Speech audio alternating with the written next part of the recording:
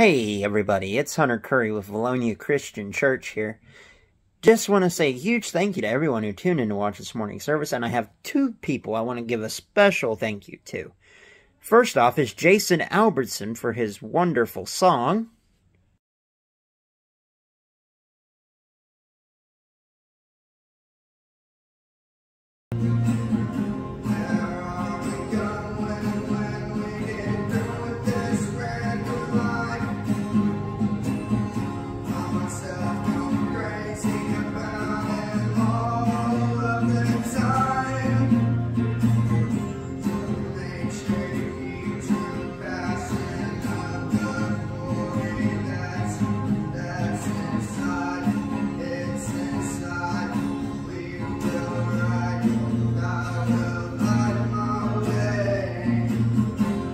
And I also want to send out a special thank you to Steve Irwin for your very enlightening and wonderful message.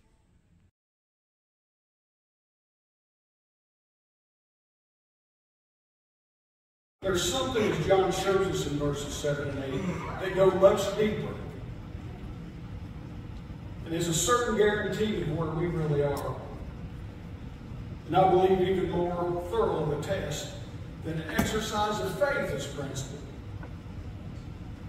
The Apostle Paul wrote this in 1 Corinthians 13, verses 1 through 3. I may speak in the tongues of men and even angels, but if I lack love, I have become merely blaring brass or cymbal clanging.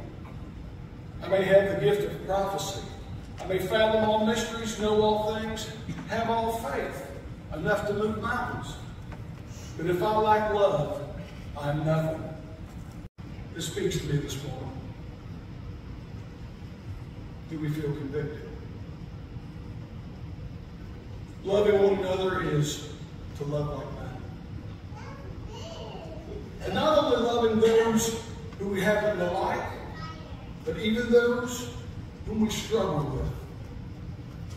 That's the test of Christian.